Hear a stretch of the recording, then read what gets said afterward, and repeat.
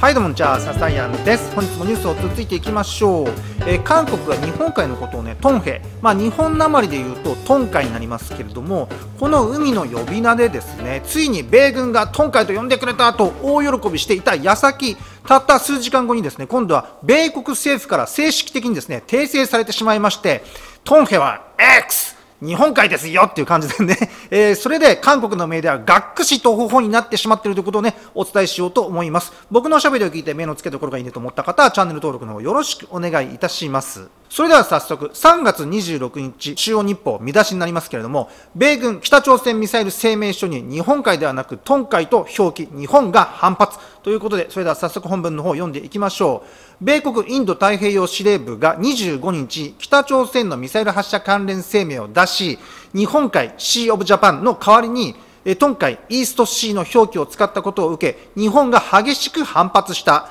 インド太平洋軍司令部報道官のマイク・カフカ大佐はこの日、公式声明で、米国はこの日午前、北朝鮮がトン海に向けてミサイルを発射した事実を認知していると明らかにした。はい。ここで実際に使われた英語表記はですね、into the east sea ということでね、お前は一体何を言ってるんだと、日本の保守層がざわついていたんですよね。この件に関してはね。で、カフカ大佐は、我々は状況を引き続き注視し、同盟国やパートナー国と緊密に協議しているとして、韓国と日本の防衛に対する米国の約束は依然として堅固だと話した。これを受け、日本政府は午後、米国政府に対して、トンカイと表記したことを釈明し、訂正するように要求した。日本のメディアによると、坂井学官房副長官は記者会見で、日本海が国際的に確立した唯一の故障という日本政府の立場に照らし合わせて、トンカイ表記は不適切だ。我が国の立場を米国政府に申し入れ、訂正を求めていると伝えた。はい。え、25日に米軍のカフカ大佐がたわけたことを抜かしたおかげでですね、韓国のメディアはもう一斉に色めきだってですね、米軍が日本海の交渉をトンヘと、で、韓国の言う通りにしてくれたと、やったぜ米軍100フォーという感じな記事を中央日報以外の各社もこぞってね、え、書き連ねていたんですけども、で、これについて日本政府が結局プンプン丸になりましてね、官房副長官名義で、米軍ではなくですね、もっとその上の米国政府に抗議を入れたということなんですね。で、この抗議を受けた米国サイドの情報としてですね、同じ日、え3月26日のお昼の2時になりますけれども、え同じ中央日報でまたね、引用していきますけれども、え見出しがですね、日本の反発に米国、トン海ではなく日本海が正しいと訂正。えもう韓国メディアがヒャッハーからね、意気消沈ずっぽしっていう感じでね まあこんな風になっちゃったんですけどもね、え、じゃあ早速本文読んでいきましょうか。米軍のインド太平洋司令部が北朝鮮の弾道ミサイル発射関連の声明で、イーストシー C の表記を使用したことに対して日本政府が抗議すると、これを C of Japan と訂正した。26日のロイターによると、インド太平洋司令部は、米国は日本海が該当水域で承認された唯一の名称という立場に変わりはないとし、トン海ではなく日本海と表記すべきだったと発表した。また、これに関連し、日本海または朝鮮半島の東側の海と表記すべきだったとも伝えた。なるほど、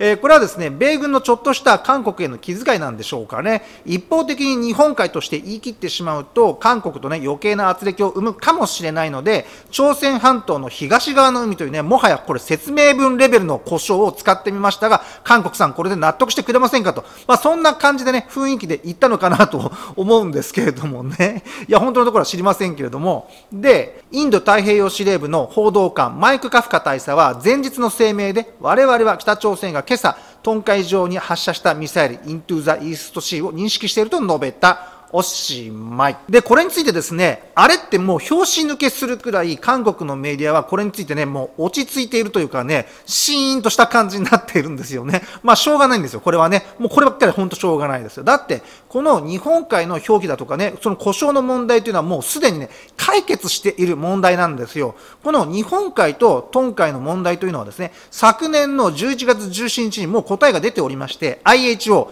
これ国際水路機関になりますけども、こちらの総会で国際海図指針書ではですね、日本海の単独表記を承認しています。これが昨年の11月17日ね。この承認の過程の中で、韓国はダダをこねて、ね、もうわけわかめなことをずっと言ってるので、ちょっともうね、会議に参加している人たちが、お気の毒様だねっていう感じでね、それで、先ほどの国際海図指針書というのは、紙の出版物なんですけども、これはもうね、微動だに動かせないのでね、えー、それじゃあということで、今後出るであろうね、デジタル版の海図指針書の中で、そこではですね、日本海自体をもう除外して、全部ね、まあ日本海だけじゃないんですけども、海の名前すべてをですね、記号化で表そうということで、一応ね、蹴りがついたんですよ。ただですね、この話、二つほどね、おかしい話がありまして、まず一つ目なんですけども、記号で表されたデジタル海図があったとするじゃないですか。でもね、そこにはね、本当に、記号しか存在していないわけですよ。X の何番何番だとか、S の何番何番だとかですね。それを見て世界の人たちは何が一体わかるのかっていうことじゃないですか。記号を見てもわからないから、じゃあ紙と照らし合わせてみましょうかっていうことになるわけでしょ。で、結局ね、この日本とロシアにあるこの海というのは、えーっ、と、えーっ、と、あ、シーオブジャパンかとなるわけでね。で、こうなると、全地域の海も全て記号で表しているわけで、そうするとね、ああ、これの記号は何だろう、この記号、あ、これは紙で持ってきたらね、あインド洋かと。で、えここもね、ああ、なんとか記号、これなんだろう、なんだあこれはカリブ海かって。もう全部が全部そうなっちゃうわけで、はっきり言ってめんどくせえな、おいっていうね。まあ、そんなデジタル海図になっちゃうわけですよね。だから、その韓国が望んでいるデジタル海図指針書というものがですね、そもそも本当に発行されるのだろうかというのがですね、大いに疑問になるわけですよ。だって、発行しても意味ないわけですからね。そしてもう一つね、おかしいところ。さっきの話に乗っかっていますけども、韓国はデジタル版の国際海図指針書にはですね、海を記号で表してほしいと言って IHO とこう手を打ったわけですけどもね、まあその意見がね、世界のスタンダードになったとしましょうか。それでもですね、韓国が主張するトンカイ、トンヘっていうのはですね、どこにも出てこないんですよ。どこにも記載されてこないんですよ。韓国が IHO で言い争ったし、ね、それの挙句に韓国政府が勝ち取ったのは、日本海ほか全ての海を記号化していきましょうっていう、その主張を勝ち取っただけなんであって、デジタル版にトン海というかね、トンヘという文字が並列で記載されるとか、そういったことは一切ありません。すなわちで、その IHO の総会で出された答えというのは、今後、トンカイ、トンヘという表記は国際的な海図においてはどこにも出てこないよっていうことを暗に認めちゃったんですよ。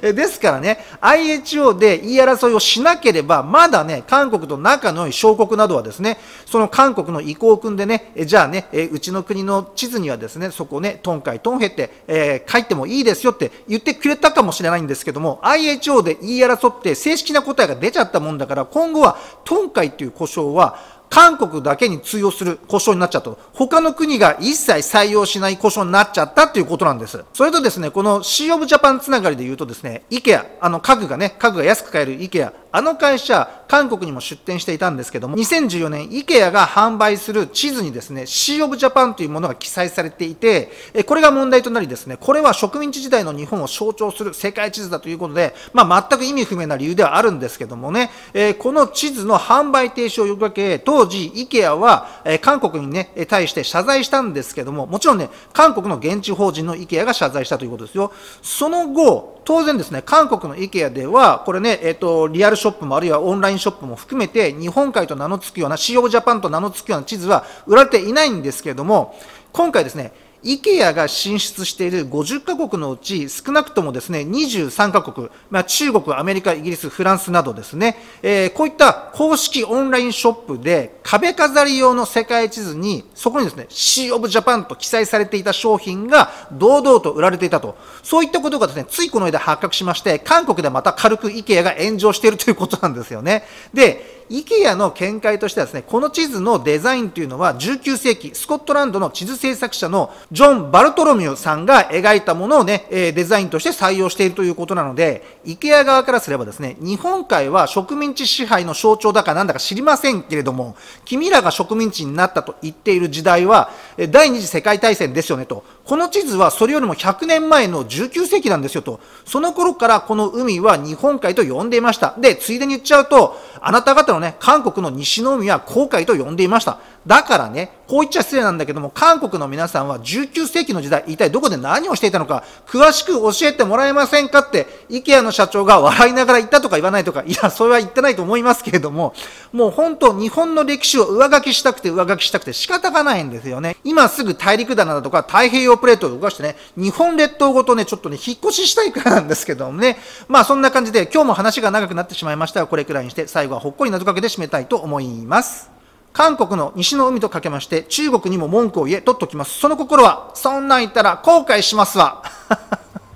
えー、韓国は相変わらず米国と中国を天秤にかけてバランス外交でしたっけ？バットマン外交でしたっけ？どっちか分かりませんけども煮え切らない態度でお茶を濁しておりますけどもでも逆に言えばですねムン・ジェインはその外交方針でなんとかこの任期5年を全うできそうなんですからねある意味非常に稀な才能の持ち主だと言えますけどもね。いや全然真似したくありませんけども。ということで本日も面白かったよためになったというかですね。チャンネル登録いいねボタンの方よろしくお願いいたします。ありがとうございました。ささやんでした。